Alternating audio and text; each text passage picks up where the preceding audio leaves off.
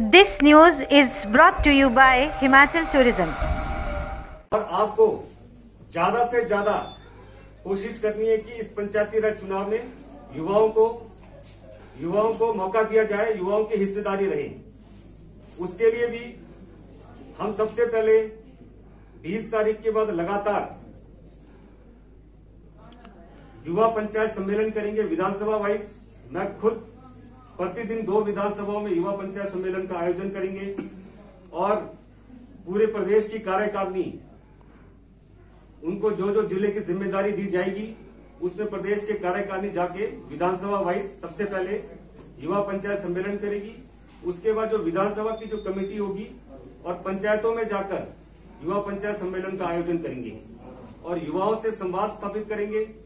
कि आने वाले समय में किस तरीके से संगठन के मजबूती के लिए, समाज के लिए, जो भी लोकल इश्यूज़ हैं, उन सभी मुद्दों पे हमें किस तरीके से काम करना है, इन सब चर्चाओं पे उस युवा पंचायत सम्मेलन में चर्चा होगी।